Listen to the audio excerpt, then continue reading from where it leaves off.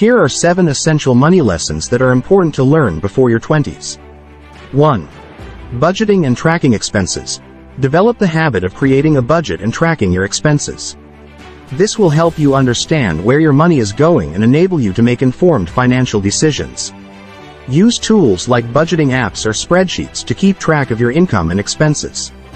2. Saving and investing. Start saving and investing early.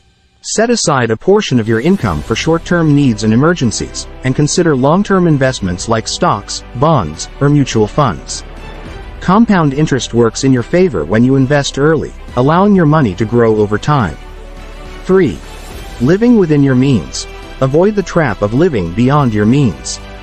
It's important to distinguish between needs and wants, and prioritize your spending accordingly.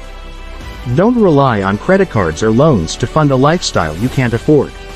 Stick to a budget that aligns with your income and financial goals. 4. Building an emergency fund. Establish an emergency fund for unexpected expenses, such as medical bills, car repairs, or job loss.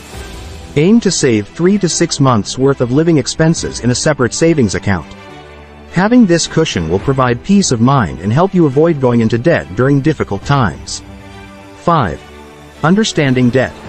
Educate yourself about different types of debt, such as student loans, credit cards, and personal loans.